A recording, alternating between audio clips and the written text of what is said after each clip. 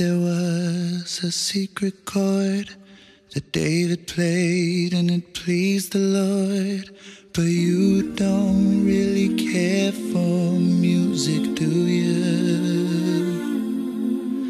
Well, it goes like this the fourth, the fifth, the minor fall, the major lift, the baffled king composed.